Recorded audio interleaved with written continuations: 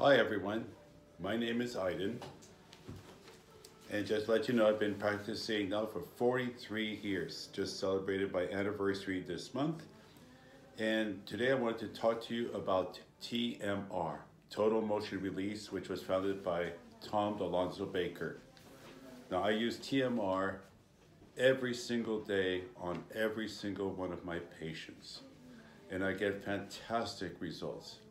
I get what I call small miracles that occurs for my patients. So for example, yesterday I had a new patient that came in one year ago, crowbar fell on top of his head, diagnosed with uh, herniated disc at C5, C6, having trigger point injections, lots of pain, 10, nothing lower than seven, having weakness in the left arm, had a precondition with weakness and ulnar and median nerve that was severed prior to that many years ago on his right arm.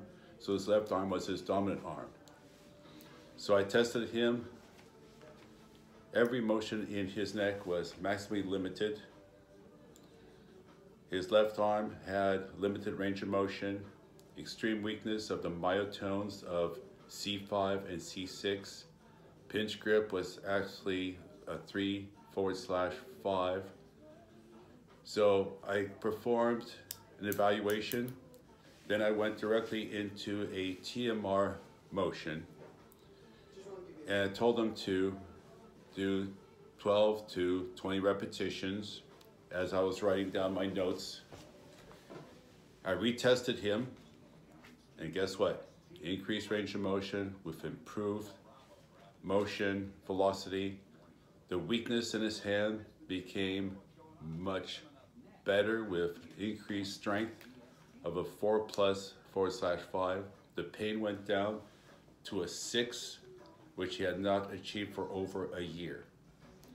So just to let you know, this is fantastic. It has been a great, great tool in my toolbox. And I have taken so many manual courses before but I use this one continuously. So not only does it improve range of motion, but also decreases pain and increases strength and increases function.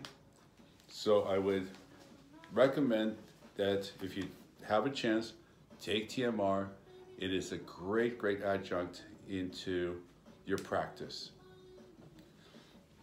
Thank you very much. Have a great day.